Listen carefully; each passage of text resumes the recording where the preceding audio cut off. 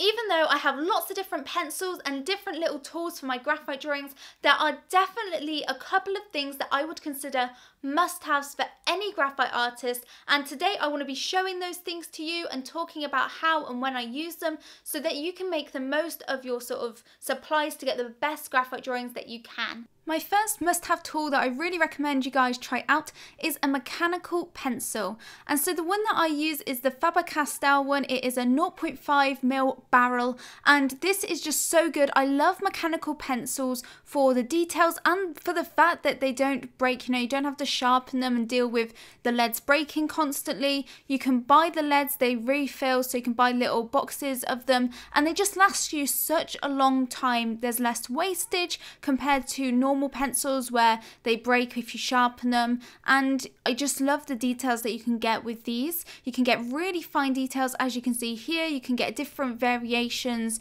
of like grades. You can apply a bit less pressure and get some lighter tones so you can get a range of values with just one mechanical pencil and I love it for the sketch outlines as well so I use it for sketch outlines and to add the first sort of layers of detail. My second tool that I love to use is just a darker graphite pencil. So I think it's so important with graphite drawings that you do have a few different values few different grades of graphite. So I do like to use a 4B pencil within my sort of drawing. So I do like to start off with my mechanical pencil and then I go in and I add some darker shadows to get some contrast in the piece. I find that a lot of beginners just go in with a HB pencil all of the way through their drawing and they don't use different grades, whereas, whereas it's really important to get in those darker shadows.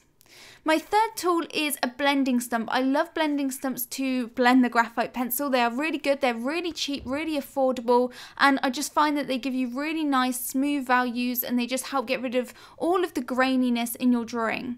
If you want to see some other ways that I like to blend graphite pencil, then I will link a card up above where I go through four different ways that you guys can blend your graphite.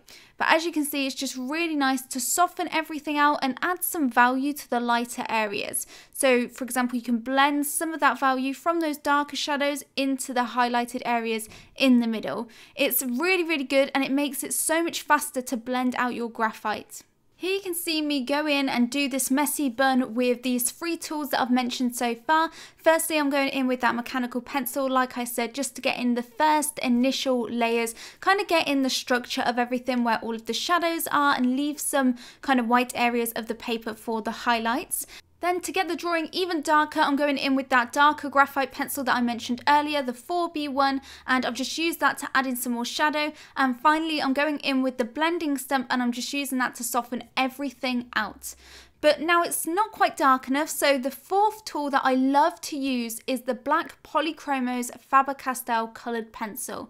And you might think a coloured pencil with graphite, that sounds so strange, and I thought so, but I was really surprised at how well it works with graphite. It's absolutely amazing. It gets those really dark values without having as much shine as a 8B graphite pencil would, for example. So I just absolutely love it if you need to get areas that are really pretty much black black in, you can just see how much darker everything goes. And with realism or anything which you really want to pop out the page, it's important that you get a good contrast. And that means that as well as having bright highlights, you need to have those dark, dark values. So you can just see how dark it is compared to that 4B pencil. And so what I wanted to use that for is just for the darkest parts of this bun and the hairstyle. And you'll really see how just how much better it looks once I've gone through with the black polychromos pencil. It's a cheapish pencil, it's only like one pound something, like one pound eighty, and I recommend that you just buy one, test out. You might love it, you might not like it, might not be your thing, but I definitely think it's like worth just testing out and having a go. And what I love as well is that you can use the blending stump to soften that out and blend that that oil-based polychromos pencil as well.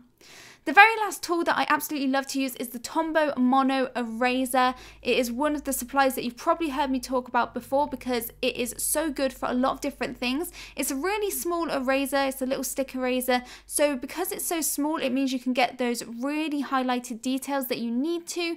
So any little details in like hair or fur, this is absolutely perfect for. You can see how well it lifts off the graphite pencil. So for your highlights, I really recommend the Tombow Mono Eraser. All of the materials that I have mentioned in this video will be listed in the description below for you guys if you want to check it out. Another thing I like about that eraser is that you can also just use it to erase areas, erase any mistakes you make. But as you can see with this hairstyle, I use it to add all of like the really shiny, glossy areas, any little flyaway hairs that I need to.